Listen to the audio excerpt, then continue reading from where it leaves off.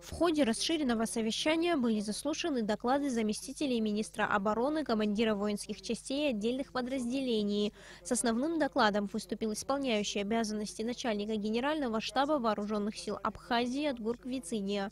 В своем выступлении он отметил, что все мероприятия, запланированные на зимний период обучения, выполнены в полном объеме, в том числе и учения резервного состава обороны. Задачи на летний период обучения уже поставлены. На достойном уровне были подготовлены подготовлены и проведены все запланированные мероприятия оперативной, мобилизационной подготовки, занятия по боевой готовности, командно-штабные и командно-штабные мобилизационные учения – тренировки, радиотренировки, в ходе которых отрабатывались вопросы перевода частей с мирного на военное время.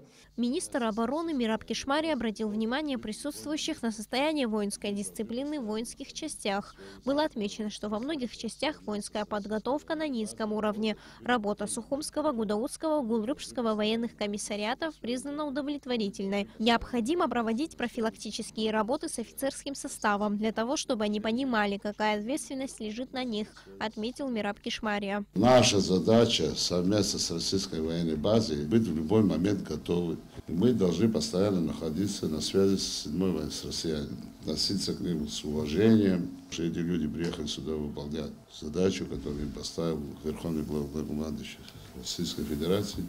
Касаясь вопросов обучения военнослужащих в военно-учебных заведениях России, было отмечено, что необходимо более качественно отбирать кандидатов на поступление. На сегодняшний день в российских военных вузах учатся около 250 наших студентов. Такая статистика не может не радовать, но огорчает тот факт, что в связи с неуспеваемостью только в нынешнем учебном году было отчислено 7 курсантов. Вот почему необходимо осуществлять жесткий контроль над ходом обучения, успеваемостью и поведением здоровьем военнослужащих отмечалось на заседании. Царесмыр Алексея Гухава, Абхазское телевидение.